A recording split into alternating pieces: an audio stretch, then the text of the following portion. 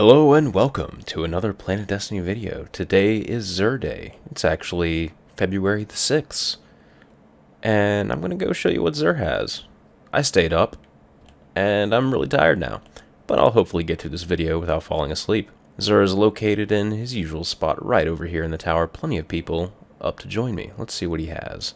Looks like starting out, we have the Glass House, 118, upgradable to 127 intellect, increase melee attack speed, replenish super energy when you kill an enemy with a grenade, and Blessing of Light and Weapons of Light last longer. This is a pretty decent helm if you're looking for something with for more group play. I actually really like it on my Titan, although Helm of Saint 14 is a little bit better.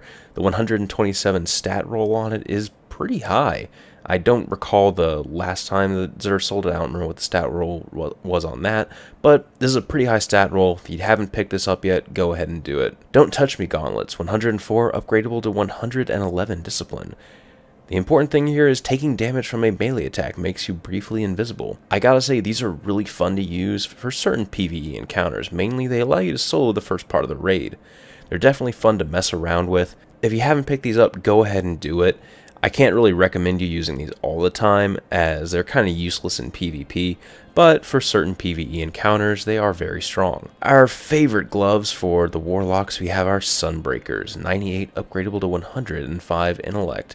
Increase the duration of your solar grenade, increase reload speed with special weapons, and melee hits replenish grenade energy. These are really solid gloves. I'm actually going to go ahead and pick up a pair because I accidentally uh, dismantled my other ones. I really like them. Uh, while a lot of the other exotics all just really outweigh these, these are a nice pair of gloves if you really like zoning off certain areas with your solar grenades. Get the talent that allows you to have two grenades, you can just throw some of those down and just cordon off an entire area. The 105 stat roll on there, not as high as it could be, but it's pretty good. It's a decently high stat roll. And then everyone's favorite fusion rifle is like the fourth time he's sold it, Plan C. Charge and equip times are very short immediately after weapon swap. It's a very fun weapon to use. I don't have one that's at 331, so I'll go ahead and pick one up as well. It's very fun to use in PvP um, if you're aware of the most recent uh, Bungie update. Fusion rifles will be receiving a nerf in the near future. Uh, their spread is essentially going to be widened, so you can't reliably hit that burst on something at the maximum range. I'll be interested to see how, how good it is after the nerf actually goes to them.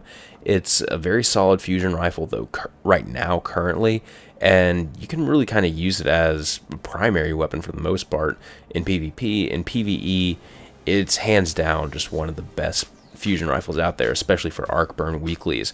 Go ahead, pick it up if you haven't already. I got one because I didn't have one at 331. I'll go ahead and level that up. And then we have our exotic shards for 7 strange coins.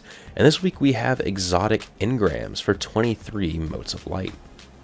For upgrades, we have the Achlyophage Symbiote, maximum stat roll of 119 discipline. Not as high as one of the previous times he had it, uh, mine is at 120, but this is honestly the best PV PvE and arguably one of the better PvP helms for gunslingers. With this stat roll on it, go ahead, pick it up. Go ahead and upgrade it if you haven't al already. Here we have the Crest of the Alpha Lupi. Revive teammates faster, spawn more orbs. The stat roll of 166 is really, really high. I would definitely go upgrade this this week if you haven't already.